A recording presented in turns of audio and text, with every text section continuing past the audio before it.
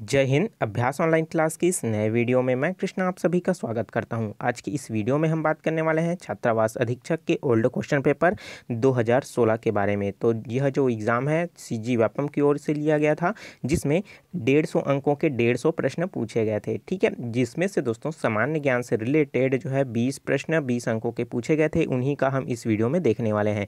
क्योंकि इससे पहले जो मैंने वीडियो बनाया था, जिसमें पचास जो है प्रश्न कंप्यूटर से पूछे गए थे, उनका ओल्ड क्वेश्चन पेपर मैंने पूरी तरीके से ही अपलोड करके रखा हूँ, उसको आप उसको ज़रूर चेकआउट कर लीजिए। और साथ ही साथ दोस्तों, हिंदी के भी आपके दस प्रश्न जो है पूछे गए थे, उन पर भी वीडियो बना चुका हूँ। नहीं देखे हो तो मैंने नीचे डिस्क्रिप्शन में लिंक दे रखा है, उसको ज़रूर चेकआउट कर लीजिए। साथ ही साथ जो छात्रावास अधीक्षक का जो सिलेबस है, उसके बारे में नहीं पता है, दोस्त, दोस्तों, उसको भी मैंने वीडियो में प्रोवाइड किया हुआ हूँ तो आप उसको चेकआउट कर सकते हो। प्ले में वो दिया हुआ है।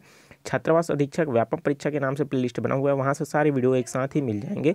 और ये जो है दोस्तों, ये वीडियो भी आपको उसी में सेक्शन में ही मिल जाएगा। तो चलिए दोस्तों, वीडियो स्टार्ट करते हैं। और वीडियो को शुरू से लास्ट तक ज़रूर देखिए। तो चलिए वीडियो स्टार्ट करते हैं। तो इस सेक्शन में सामान्य ज्ञान से 20 प्रश्न पूछे गए थे। 20 प्रश्नों को चलिए लगातार देखते हैं। और आपसे अगर बनता है दोस्तों तो अभी मिला करके देखिए देखिए किस लेवल के इसमें प्रश्न पूछे गए हैं। तो चलिए पहला प्रश्न देख लेते हैं। मौसमी बेरोजगारी संबंधित है। तो मौसमी बेरोजगारी जो है किससे संबंधित है? सार्वजनिक क्षेत्रों से, कृषि क्षेत्र से, निजी क्षेत्रों से या उपरोक्त में से? कोई नहीं। तो आपको पता होगा, आपने इकोनॉमिक पढ़ा है तो मौसमी बेरोजगारी किसे कहा जाता है? कृषि को कहा जाता है। क्योंकि इसमें जो है मौसम के अकॉर्डिंग जो है दोस्तों, बेरोजगारी सामने आता है। पूरी डिटेल मैं आपको, मैं नहीं बताऊँगा। जब आपको इकोनॉमिक्स का क्लास लूँगा तो उसमें डिटेल तरीके से बताऊँगा कि कितने प्रकार के बेरोजगारी होते हैं और किन किन तरीक़ों से वो सामने आता है। चलिए देखते हैं नेक्स्ट क्वेश्चन दार्जिलिंग में किस न, जो दार्जिलिंग है वो किस नदी के तट पर चाय की खेती के लिए की जाती है? तो दोस्तों दार्जिलिंग कहाँ पास है? कोलकाता में स्थित है। आपको पता है वो चुका होगा। और जो कोलकाता है, वो कौन सी नदी के किनारे बसा है दोस्तों? हुगली नदी के किनारे बसा है। लेकिन जो है दोस्तों, आपको जो है चाय की खेती के लिए कौन सी नदी प्रयुक्त है है, जहाँ से बहती है, उसके किनारे में किया जाता है। ठीक है? तो दोस्तों, आपको जो है तीस्ता और जो है सूरमा, मानस और लोहित। तो दोस्तों, इसका जो राइट आंसर है, वो क्या हो जाएगा दोस्तों? तीस्ता नदी के तट पर जो है दार्जिलिंग के किनारे चाय की खेती की जाती है।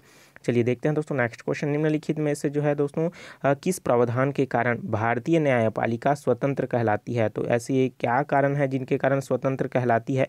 तो नीचे दिया गया है कथन, उसके अकॉर्डिंग जो है दोस्तों, नीचे दिया गया है। उसके चार ऑप्शन ठीक है? तो चलिए देखते हैं एक एक करके तो इसमें दिया है न्यायाधीशों की नियुक्ति कार्यपालिका अध्यक्ष के द्वारा की जाती है। तो ये पहला कथन इसमें जो कह रहा है, और साथ ही साथ अगर इसमें बात करें, जो कि क्या है, पूरी तरीके से बिल्कुल सही है, उसी तरीके से दूसरा बात कर लेते हैं, न्यायाधीशों के वेतन उसके कार्यकाल में कम नहीं किया जा सकता तो वेतन उसके कार्यकाल में कम नहीं किया जा सकता। तो दोस्तों, ये इस तरीके से क्या कर सकते हैं क्या बिल्कुल किया जा सकता है। ठीक है, उसी तरीके से न्यायाधीशों की पदच्युत की जो प्रक्रिया है, वो कठिन है। तो ये क्या आप, इसकी प्रक्रिया कठिन है, बिल्कुल दोस्तों, ये पूरी तरीके से कठिन है। मतलब ये पूरी तरीके से ए, बी, सी, पूरी तरीके से सही हो रहा है। उसी तरीके से देखते हैं, न्यायपालिका में न्यायिक पुनर्विलोकन का अधिकार दिया गया है। तो न्यायिक पुनर्विलोकन का अधिकार नहीं दिया गया है। ठीक है तो ये क्या हो जाएगा, हमारा डी इसमें नहीं है। उसी तरीके से देखते हैं, न्यायाधीशों का कार्यकाल लंबा है। तो इसमें जो न्यायाधीश होते हैं, उनके जो कार्यकाल होते हैं बिल्कुल लंबा होते हैं, ठीक है? और उसी तरीके से अब देख लेते हैं, भारत में सर्वाधिक जो है सर्वोच्च है सॉरी संविधान जो है सर्वोच्च है। क्योंकि आपको पता है, भारत में जो संविधान है, सर्वोच्च है।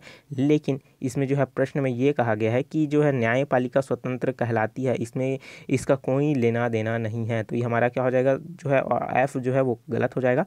ठीक है, उसी तरीके से देख लेते हैं, भारत जो है, राज्यों का संघ है, इसमें भी इसका कोई लेना देना नहीं है। तो ये क्या हो जाएगा, हमारा जी भी गलत हो जाएगा। और इसी तरीके से दोस्तों एच में दिया गया है कि कार्यपालिका, विधायिका एवं न्यायपालिका के मध्य जो है, जो कार्यपालिका होता है दोस्तों, वो विधायिका और न्यायपालिका के मध्य शक्तियों का पृथककरण करता है। तो ये तो आपको पता ही होगा ये तो आपने पढ़ा ही होगा ठीक है? तो ये बिल्कुल है। तो इस तरीके से अगर हम लोग सभी को देखें तो कौन सा है कौन सा नहीं है ए बी सी डी में बात करें तो आपको पता चल जाएगा दोस्तों। तो इस तरीके से हमारा जो है हाँ, कौन कौन सा है दोस्तों? आपका पहला है ए इसमें बिलोंग करता है बी भी बिलोंग करता है सी भी बिलोंग करता है लेकिन हमारा डी और जो है दोस्तों, ई ई जो है बिलोंग करता है, डी, ई बिलोंग नहीं करता और साथ ही साथ एफ़ बिलोंग नहीं करता है और जी भी बिलोंग नहीं करता है करता है, कौन बिलोंग करता है? एच। तो इस तरीके से हमारा A, B, C E H तो A B C E H हमको कौन सा ऑप्शन में देखने को मिला है? A B C E H A B C E H इसमें नहीं है, इसमें भी नहीं है तो किस किसमें तीसरा option A B C E H ठीक है? तो ये क्या हमारा सी ऑप्शन जो है, सही हो जाएगा, ठीक है? चलिए देखते हैं नेक्स्ट क्वेश्चन निम्नलिखित में से कौन सी जोड़ी सही है? जो सही जोड़ी है, उसको बताना है दोस्तों कार्बनिक सेल जिसे स्लेट कहा जाता है। रिक्टर स्केल वायु की गति ठीक है रिक्टर स्केल से मापा जाने वाला है, वायु की गति, इसमें से जो सही जोड़ी है उसको बताना है दोस्तों, ठीक है? उसी तरीके से काली कपास मृदा, पारजाल, टार्नेडो, ऑस्ट्रेलिया तो इसमें जो सही है उसको बताना है, क्योंकि आपको जो है वायु की गति मापने के लिए किसका प्रयोग किया जाता है? एनेमोमीटर का प्रयोग किया जाता है, और रिक्टर स्केल से क्या मापा जाता है? भूकंप की तीव्रता मापी जाती है तो हमको सही वाला जोड़ी बताना है तो ये बी ऑप्शन भी नहीं होगा, ठीक है? तो उसी तरीके से दोस्तों इसमें क्या हो सकता है, अब देख देखिए कार्बनिक सेल जो है स्लेट नहीं स्टोन्स में आते हैं। काली कपास मृदा जो है दोस्तों पूरी तरीके से किस प्रकार की मिट्टी आती है एकदम पुरानी आर्कियन शैल समूह के जो है चट्टाने के अंतर्गत आती है, ठीक है? तो ये क्या हो जाएगा सी ऑप्शन भी गलत हो जाएगा ए ऑप्शन भी बचा गया हमारा टर्नेडो, चूँकि कहाँ से आता है ये ऑस्ट्रेलिया से तो क्या हो जाएगा, हम इसके लिए डी ऑप्शन जो है सही हो जाएगा। चलिए देखते हैं नेक्स्ट क्वेश्चन निम्नलिखित में से किस तिथि को गांधी जी ने साबरमती आश्रम से दांडी के लिए ऐतिहासिक पद यात्रा प्रारंभ की थी। बहुत सिंपल सा प्रश्न है, बहुत बार पूछा जा चुका है इस प्रश्न को। तो 12 मार्च 1930 को 15 मार्च 1930 को 6 अप्रैल 1930 को या 10 अप्रैल 1930 को? तो राइट आंसर क्या हो जाएगा? 12 मार्च 1930 को। चलिए देखते हैं नेक्स्ट क्वेश्चन क्वेश्चन नंबर है 96 निम्नलिखित में से कौन सा अधिकार संविधान के अनुच्छेद 22 के अंतर्गत गैर नागरिकों को दिए गए हैं?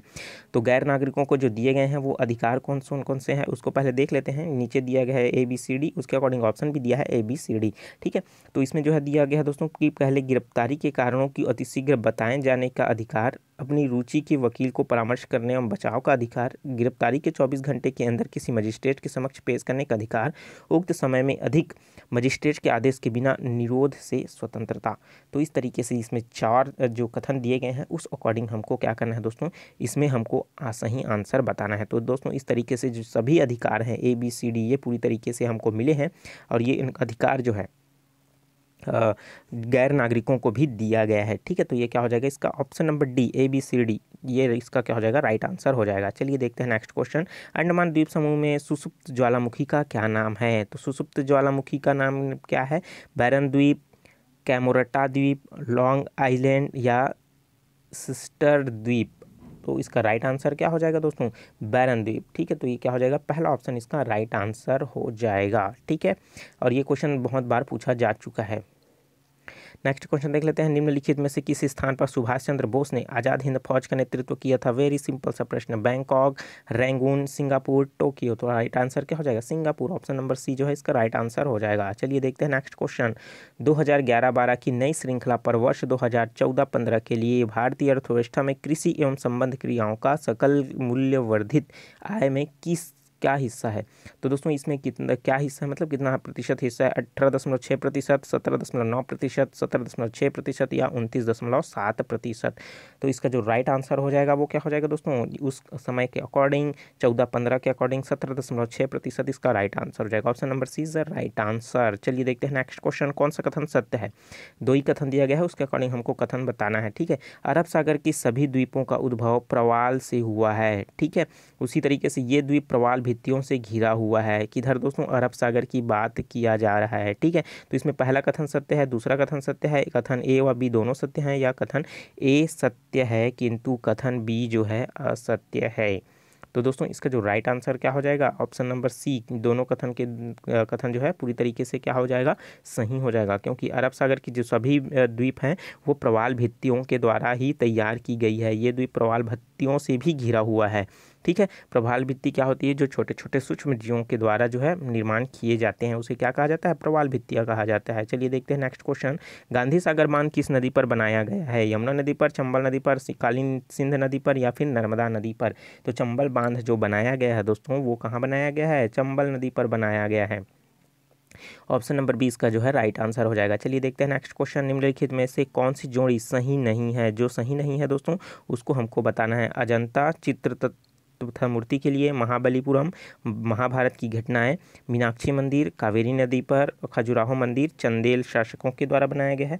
तो इसमें से राइट आंसर क्या हो जाएगा? जिसमें से सही जोड़ी नहीं है। मतलब इसमें से तीन जो है सही है, एक गलत है और वही गलत को हमको बताना है। ठीक है? तो इसका जो राइट आंसर हो जाएगा, वो क्या हो जाएगा? मीनाक्षी मंदिर जो है कावेरी नदी नहीं, बल्कि क्या है? कृष्णा नदी आ जाएगा। ठीक है? तो इसका क्या हो जाएगा दोस्तों? ये हमारे लिए सही जोड़ी नहीं है। बाकी अजंता में क्या है? आपको चित्र मूर्ति का देखने को मिलेगा, जो कि क्या है महाराष्ट्र में। महाबलीपुरम जो है महाभारत की घटनाओं का वर्णन करता है। खजुराहो जो है ये भी मध्य प्रदेश में है, जो कि कहाँ है चंदेल शासकों के द्वारा ये बनाया गया है। ठीक है? चलिए देखते हैं नेक्स्ट क्वेश्चन वर्ष 2013 में भारत का लैंगिक विकास सूचकांक क्या है? तो दोस्तों, लैंगिक विकास सूचकांक point five eight six, point eight two eight, point five six three या इनमें से कोई नहीं, ठीक है? तो 2013 के अकॉर्डिंग पूछा गया है तो दोस्तों आप इसको याद रखना ज़रूरी नहीं है, क्योंकि अभी 2021 चल रहा है और ये उस समय के लिए क्वेश्चन था इंपॉर्टेंट था। लेकिन अगर इसके आंसर की बात करूँ दोस्तों तो ये है पॉइंट एट टू एट। तो ऑप्शन नंबर बीस के लिए राइट आंसर होगा। चलिए देखते हैं नेक्स्ट क्वेश्चन भारतीय संविधान के भाग तीन में उल्लेखित मौलिक अधिकारों को लागू करने और किसी अन्य प्रायोजन के लिए किसी बंदी प्रत्यक्षीकरण, परमादेश, प्रतिषेध, प्रत्यक्ष एवं लेख एवं अधिकार परीक्षा जारी करने का अधिकार है। किसको? सर्वोच्च ऑप्शन दिया है भारत के सर्वोच्च न्यायालय को, उच्च न्यायालय को, संविधान के अंतर्गत गठित न्यायाधिकार को या उपरोक्त में से कोई नहीं। तो इसका जो राइट आंसर हो जाएगा वो क्या हो जाएगा दोस्तों? ये जो है उच्च न्यायालय को अधिकार कार है, ठीक है? अगर इसमें और भी कुछ समस्याएँ आ जाती है तो वो उस समय उच्च, सर्वोच्च न्यायालय से परामर्श ले सकता है। तो इन सब पर अधिकार, इन सब का जो है अधिकार किसको है दोस्तों? वो है उच्च न्यायालय को। चलिए देखते हैं next question labour bureau report 2017 के अनुसार भारत में कौन सा युक्त कार्यशक्ति का प्रतिशत है? लेबर ब्यूरो रिपोर्ट 2014 के अनुसार भारत में कौशल युक्त कार्यशक्ति का प्रतिशत क्या है? तो पाँच प्रतिशत, दो प्रतिशत, वन पॉइंट फाइव प्रतिशत या इनमें से कोई नहीं। तो दोस्तों, इसका जो राइट आंसर हो जाएगा वो क्या हो जाएगा? टू प्रतिशत मतलब दो प्रतिशत जो है भारत में वो लेबर ब्यूरो रिपोर्ट्स 2014 के अनुसार कौशल युक्त कार्यशक्ति का है। ठीक है तो ऑप्शन नंबर बी इसका जो है राइट आंसर हो जाएगा। चलिए देखते हैं नेक्स्ट क्वेश्चन। नेक्स्ट क्वेश्चन है उनहत्तरवा संविधान संशोधन के अनुसार राष्ट्रीय राजधानी दिल्ली से संबंधित में क्या सही है? जो सही है, उसको बताना है। पहला इसमें दिया गया है दोस्तों A B C D E F और इसके अकॉर्डिंग जो ऑप्शन दिया गया है ए बी सी डी तो इसमें दिया है पहला, प्रशासक का पदनाम उपराज्यपाल होगा। दूसरा बोल रहा है, उपराज्यपाल के द्वारा मुख्यमंत्री की नियुक्ति की जाएगी। तीसरा, राष्ट्रपति के द्वारा मुख्यमंत्री की नियुक्ति की जाएगी। डी है, उपराज्यपाल और मंत्रिपरिषद की सलाह से अपनी शक्तियों का राज्यपाल जो है, वो अपनी शक्तियों का प्रयोजन जो है करेगा। उसी तरीके से ई है, उपराज्यपाल और मंत्रिपरिषद के मध्य मतभेद की स्थिति में प्रकरण गृह मंत्रालय को भेजा जाएगा और ई जो है उपराज्यपाल और मंत्रिपरिषद के मध्य मतभेद की स्थिति में प्रकट, प्रकरण जो है, राष्ट्रपति को भेजा जाएगा। तो इस अकॉर्डिंग जो है सिक्सटी नाइनवा जो संविधान संशोधन है, उसमें से कौन कौन से जो सही हैं, उसको हमको बताना है। नीचे ऑप्शन दिया गया है, पहला ऑप्शन में A C D E A B D F B D E F या उपरोक्त में से कोई नहीं। अगर दोस्तों इसमें जितने भी कथन दिए गए हैं, अगर उनको सभी को देखा जाए तो हमको ये पता चलता है कि इनमें जो दिया गया है, कौन सा कथन दिया गया है, वो उपयुक्त सभी इनमें से ऑप्शन जो दिया गया है, वो बिल्कुल एक भी इसमें मैच नहीं कर रहा है या उपरोक्त में से कोई नहीं आ जाएगा। ठीक है तो ऑप्शन नंबर डी इसके लिए क्या हो जाएगा राइट आंसर हो जाएगा। ठीक है, चलिए देखते हैं नेक्स्ट क्वेश्चन इनमें से कौन सा अनुच्छेद उन्नीस के अंतर्गत युक्ति युक्त निर्बंधन है? तो ऑप्शन देख लेते हैं, बस स्टैंड के लिए एक स्थान नियत रखना, एक निश्चित कारखाने में न्यूनतम मजदूरी निर्धारित करना, तीसरा है किसी व्यापार के लिए लाइसेंस निःशुल्क निर्धारित करना, या उपरोक्त में से कोई नहीं। तो दोस्तों, इसका क्या हो जाएगा, उन्नीस के अंतर्गत ये जो है, पूरी तरीके से ये जो है अप्लाई नहीं होता है तो ये क्या हो जाएगा, आपका उपरोक्त में से कोई जो है सॉरी सभी, ठीक है इनमें से क्या हो जाएगा, कोई नहीं आना है, ठीक है तो ये क्या हो जाएगा आपके लिए ऑप्शन नंबर डी जो है, इसके लिए क्या हो जाएगा? राइट आंसर हो जाएगा, ठीक है? तो मैंने इनमें कहा, बोल रहा था इनमें से कोई नहीं सॉरी ये क्या हो जाएगा? उपरोक्त सभी, क्योंकि ये क्या है, उसमें पूरी तरीके से स्वतंत्रता का अधिकार इनको क्या हो जाता है? मिल जाता है, ठीक है? तो चलिए देखते हैं दोस्तों।